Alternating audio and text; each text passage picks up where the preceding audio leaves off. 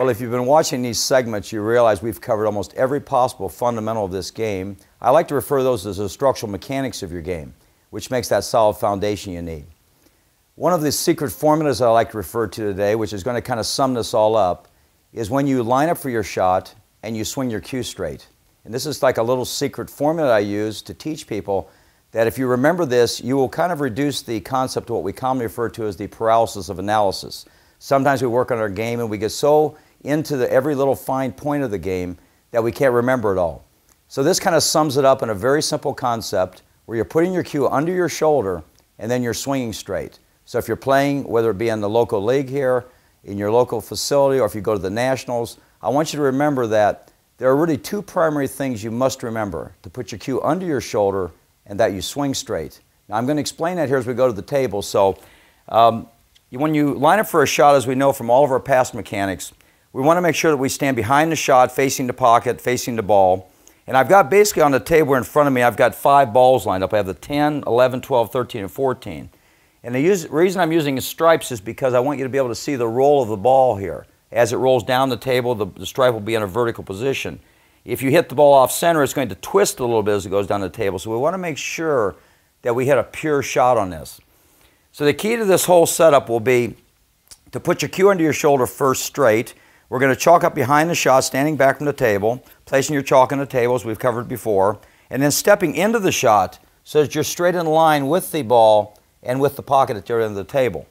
So let's just make sure we've got that. We're going to chalk up again.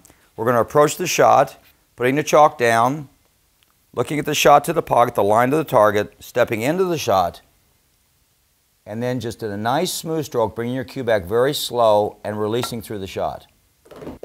And then we're going to come up again, chalk up, chalk goes down, stand back, step in. Nice, smooth, straight line effect, coming back real slow and releasing through the shot. Coming back again, chalking up, stepping into the shot. This is called a reinforcement tool. Back and forth, coming back real slow and shooting through the shot.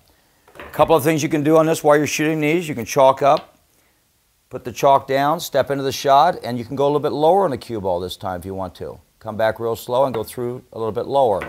You can also come back through the shot, and when you step into the line, you can actually go higher on the ball, come back, and shoot through the shot. So basically what you've done here is you've approached all five of these balls with a straight alignment. In other words, the cue stick is straight under that shoulder. You're shooting straight through it, no twist or turn of the back arm swing. And so this gives you that effect of the straight arm swing. Now, I want to just make sure we know how to reinforce this again. By setting up the five balls, you do this repetitiously. We do basically five balls a day.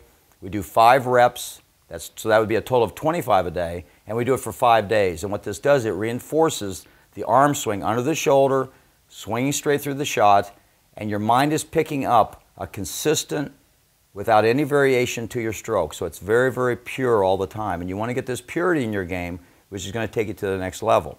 One final thing you can do is you can put a mirror in front of yourself when you're actually, you don't even need a pool table for this technically. You take a mirror and you line up to the mirror. And as you line up to the mirror, you actually see yourself with the cue stick under your shoulder and then you can see yourself swinging straight into the mirror. So this is a very good technique where you practice that a few minutes a day.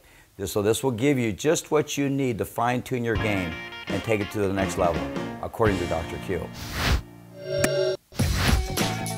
You're looking for a great way to have fun, meet new people, and play some pool. Join an APA Pool League today. Visit us online at poolplayers.com.